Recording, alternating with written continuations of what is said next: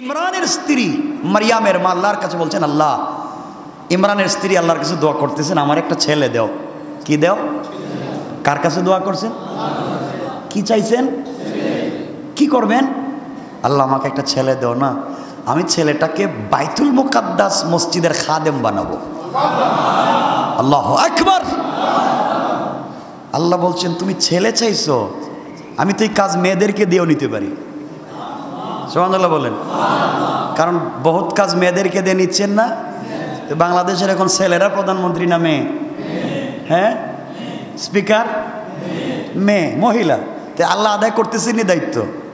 আল্লাহ বললেন, ও জাকারিয়া, এই কি? ইমরানের স্ত্রী, তুমি আমার কাছে ছেলে চাইছো।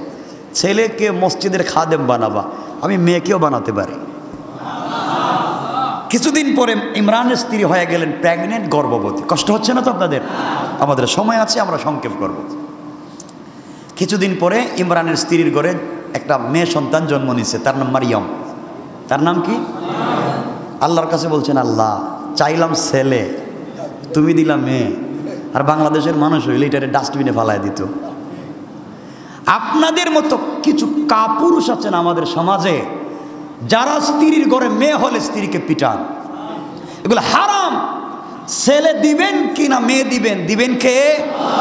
তো আপনি স্ত্রীকে দোষ দিচ্ছেন কেন? স্ত্রীকে ডিস্টার্ব করতেছেন কেন? স্ত্রীকে কষ্ট দিচ্ছেন কেন? তাকে যৌতুকের জন্য আঘাত করতেছেন কেন? আপনি তো রাষ্ট্রের আইন মানেন না। আপনি মানবতা বিরোধী, আপনি ইসলাম বিরোধী। যদি আপনি যৌতুকের জন্য কাউকে পিটান। ঠিক আছে তো? এগুলা করা যাবে না। যাই হোক আল্লাহ বলছেন মারিয়ামকে দিলেন? ইমরানের স্ত্রীকে বলছেন, এই মেয়েটাকে কেন দিছি তুমি বুঝবা না। কিছুদিন পরে বুঝবে, মেয়েটাকে তুমি খাদেম বানাইয়া দাও। বড় হলেন তিনি, মসজিদের খাদেম বানায় দিলেন। সুমানুল্লাহ বললেন কোন মসজিদের? বাইতুল মোকাদ্দাস প্যালেস্টাইনের জেরুজালেমের পৃথিবীর বৃহৎ মসজিদগুলার একটা পৃথিবীর সর্বপ্রথম যেদিকে কিবলা ছিল, বাইতুল মোকাদ্দাস। মসজিদের খাদেম একজন মহিলা, মারিয়ম। তিনি খিদমাত করতেছেন, চলতেছে এভাবে। কিছুদিন পরে বড় হয়ে গেছেন এই আয়াতগুলার অনুবাদ বলতেছি শুধু। কি হয়ে গেছেন। হঠাৎ একদিন জিবরিল আমিনকে আল্লাহ পাঠিয়ে দিয়েছেন মারিয়ামের কাছে। এলাকার মানুষ মিলে মারিয়ামকে মসজিদের সাথে এভাবে একটা রুম, ওয়ালের সাথে রুম বানাইয়া দিছে যে, মারিয়াম, তুমি রুমে থাকো, খাওয়া দাওয়া আমরা এলাকার থেকে দিব, আর তুমি মসজিদ ঝাড়ু দিবা। মসজিদ পরিষ্কার রাখবে, একজন মহিলা মানুষ। তো তো বহুত বড় বুজুর্গ। এমন সময়ে জিবরিল আমিন এসে বলছেন, মারিয়াম, তুমি তো বড় হয়ে গেছো, তুমি আমাকে চিনবা না। ঠিক আছে, আমি চিনি না আপনি কে, তোমাকে একটা সুসংবাদ দিতে আসছি। মারিয়াম বলছেন, আমার আবার কি সুসংবাদ? আমি মেয়ে মানুষ। জিবরিল আমিন বলছেন, তোমাকে সুসংবাদ দিচ্ছি, তোমার একটা ছেলে হবে। সুমান এটা আগামী বছর, কেমন? ছেলে হবে, কি বলেন, আমার কোনো বিয়ে হয় নাই। আমি কোনো পুরুষ মানুষকে স্পর্শ করি নাই। আর আপনি বলছেন, আমার ছেলে হবে। আপনি এটা ভুল বলতেছেন। জিবরিল আমিন বলছেন, মারিয়াম, তুমি আমাকে চিনবা না। আমি আল্লাহর পক্ষ থেকে রহমতের দূত। আমি হচ্ছি রহমতের ফেরেস্তা আমি হচ্ছি জিবরিল আমিন, আমি রুহ। জিব্রাইল, তো আপনি আমার কাছে কেন? আল্লাহ আপনাকে একটা ছেলে দিবেন। বাবা ছাড়া অবশ্যই। আল্লাহ বুঝাতে চান যে বাবা ছাড়াও সন্তান দিতে পারেন। আল্লাহ তার ক্ষমতা বুঝাতে চায়। মানুষ আমাকে কি বলবে? মানুষ আপনাকে যাই বলুক, আপনি ধৈর্য ধারণ যদি করতে পারেন, সবর করতে পারেন লাইফে কামিয়াব। সোমান আল্লাহ বলেন। তো মারিয়াম বলছেন কেমনে কেমনে ছেলে হবে? আপনি শুধু কাপড়টাকে এতটুকুন বড় করবেন, আমি একটা ফু দিয়ে দিব। ফু দিলে আপনার একটা ছেলে হয়ে যাবে। আপনাকে মানুষ গালি দিবে, আপনার বিরুদ্ধে বদনাম করবে, আপনি ভেঙে পড়ে যাইয়েন না।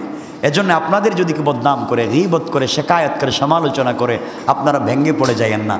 বাছাইয়া দিবেন কে? বলেন না, বাছাইয়া দিবেন কে? আল্লাহ। তো যাই হোক, এক পর্যায়ে মারিয়াম তো সবার কাছে ভালো মানুষ, মসজিদের খেদমত করেন, তেল পোড়া, পানি পোড়া মানুষ নেন আর টাকা পয়সা দিয়ে যায়। কিছুদিন পরে মারিয়াম প্রেগনেন্ট হয়ে গেলেন। এলাকার মানুষ বলছে কী রে এই মেয়েটারে মনে করছি পীর, এখন দেখতেছি বাপ ছাড়া স্বামী ছাড়া পেটে বাচ্চা হইল কেমনে?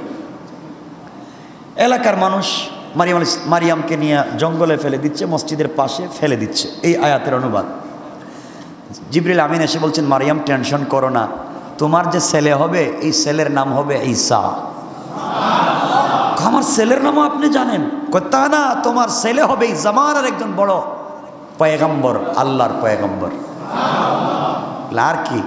কই ছেলে জন্মর সাথে সাথে বড় মানুষের মতো কথা বলবে। এই ছেলে জন্ম নেওয়ার সাথে সাথে মরা মানুষের শরীরে হাত দিলে জিন্দা হয়ে যাবে।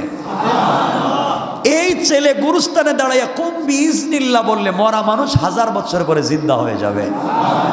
এই মানুষটা আল্লাহর সাথে কথা বলতে পারবে। এত এত কথা। হজরতে মারিয়ামকে জঙ্গলে ফেলে দেওয়া হলো। আমার মুসলমান বন্ধুগান কবির মনোযোগ এক পর্যায়ে। হজরতে মারিয়ামকে জঙ্গলে ফেলে দেওয়া হলো।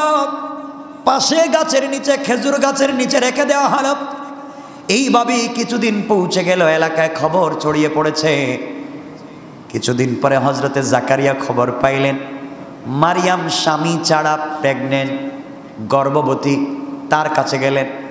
গিয়ে বললেন, মারিয়াম, তোমাকে ভালো মানুষ মনে করেছিলাম, শেষ পর্যন্ত তুমিও এই কাজ করলে। মারিয়াম বলেছেন, খবরদার আমার চরিত্র নিয়ে কথা বলবেন না। আপনারা আমাকে জানেন না, আমার পেটের বাচ্চার স্বামী থাকতে না পারে, বাবা থাক, আমার স্বামী থাকতে না পারে।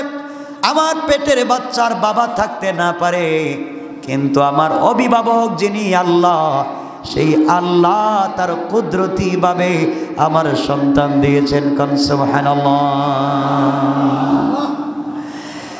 জাকারিয়া বললেন, তাহলে বলো তো, ঘটনা কি? হজরতে মারিয়াম বললেন, ও জাকারিয়া, আমার পেটের যে বাচ্চা বাচ্চার নাম হবে ঈসা।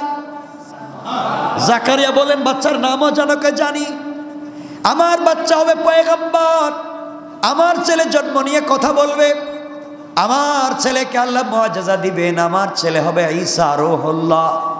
কথাগুলো শুনলেন জাকারিয়া। বাড়িতে চলে আসলেন, কান্না করলেন। কান্না করে আল্লাহকে ডাক দিয়ে বলছেন, আল্লাহ তাআলা, তোমার সাথে আমার আজকে কিছু কথা আছে। সমাধান বললেন, আমরা তো বল খাটাই আল্লাহর সাথে কথা বলতে পারি না, কারণ ভাইগা বাইকে থাকি তো। আল্লাহ বলছেন, জাকারি, আজকে যা বলার বলো, তোমার জন্য টাইম বরাদ্দ দিলাম। জাকারি বলছেন, আল্লাহ, আর কি বলব? আমার দিকে আমার দেখেন না আপনি? দেখি তো, তোমার পয়গাম্বর বানাইছে, আর কো? আল্লাহ, গেছিলাম আজকে এক জায়গায়, এক মহিলার বাড়িতে। তার নাম কি? মারিয়াম। আল্লাহ গিয়ে শুনলাম, মারিয়ামের স্বামী নাই, কিন্তু পেটে বাচ্চা। তাই নাকি? আল্লাহ মনে জানেন না। জাকারিয়ার কথা আশ্চর্য হচ্ছে, সত্য কথা বলতেছে। আল্লাহ ঠিকই তো, এই মারিয়াম বলতেছে, তার ছেলের নাম ঈসা। তার ছেলে পয়গম্বর হবে। তার ছেলে জন্ম নিয়ে কথা বলবে। আল্লাহ বলেন, তো সব ঠিক আছে। ঠিক তো, এটা তো আমি করছি, আমি দিব বলছি। আল্লাহ, তাইলে কি আপনি আমারে দেখেন না? তোমার আবার কি হয়েছে আমার যে একটা নাই, আমার তো এই সে আমার একটা ছেলে দেন না কেন? আল্লাহ বলেন, আরেক মহিলার কথা বলে নিজের কথা বলো কেন? হাজরতে জাকারিয়া বলছেন, আল্লাহ তোমার কাছে আমি জানতে চাই, হজরতে মারিয়ামকে যদি স্বামী ছাড়া সন্তান পেটে দিতে পারো, আমার স্ত্রী বন্দা, আমার বয়স একশো বছর, আমাকে কেন বাচ্চা দিতে পারবা না? আল্লাহ বলেন, জাকারিয়া এভাবে না বলে ওভাবে বলো না কেন? আয় আল্লাহ তাআলা, আমি তোমার কাছে একটা সন্তান চাই, তুমি চাইলে দিতে পারো। জাকারিয়া বলছেন, আল্লাহ, না না, আমি সন্তান এই জন্য চাই, আমি মরে গেলে আমার পরে পয়গাম্বর কে হবে? আল্লাহ বলেন, যেভাবে যে ঈসাকে বানাচ্ছি, যেভাবে মুসাকে বানাচ্ছি, এভাবে বানাবো। যে কাউকে বানাবো, তোমার বংশ থেকে না বানালে কি হয়? আয় আল্লাহ তাআলা এর জন্য বলছি যেন আমার ছেলেকে পয়গাম্বর বানালে ভালো হয়। আল্লাহ বলেন, জাকারিয়া, সব বুঝি। তোমার স্ত্রী বন্দা, তোমার বয়স একশো বছর হয়ে গিয়েছে। তুমিও সন্তান আমার কাছে চাইলে সুন্দর করে আমার কাছে বলেছ, আমি আল্লাহ খুশি হয়ে গিয়েছি। আমিও তোমাকে কথা দিলাম, আজকে ওয়াদা দিলাম। তোমাকেও আমি একটা ছেলে সন্তানের ওয়াদা দিলাম।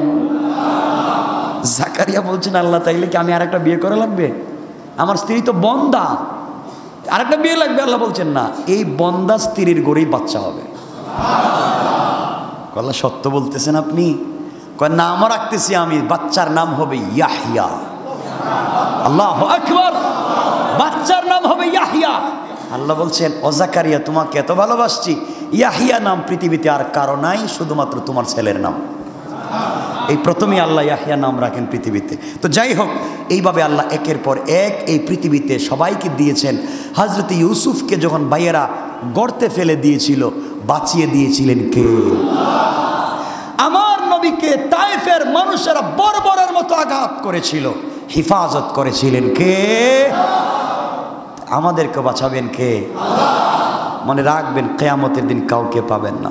সে দয়ার নবী ছাড়া, মায়ার নবী ছাড়া কেয়ামতের দিন কেউ আপনার পক্ষে সুপারিশ আর সেফাহাত করবে না। এজন্য চলার পথে সে রসুলকে ভুলে যাইয়েন না। কথা দেন ইনশাআল্লাহ।